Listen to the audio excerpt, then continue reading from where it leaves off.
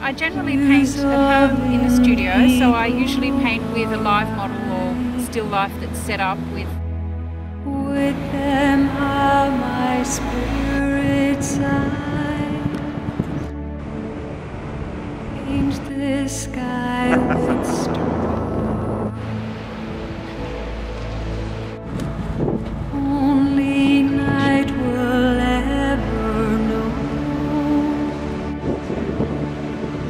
Why the heavens never show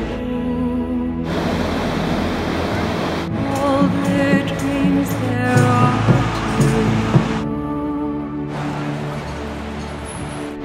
I think with uh, sky Figure It with is, you've got to do a lot more thinking.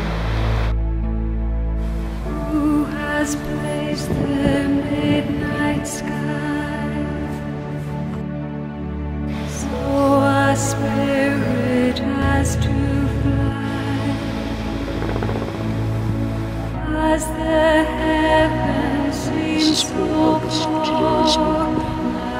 We paint together and paint the. Same room, same model, same everything.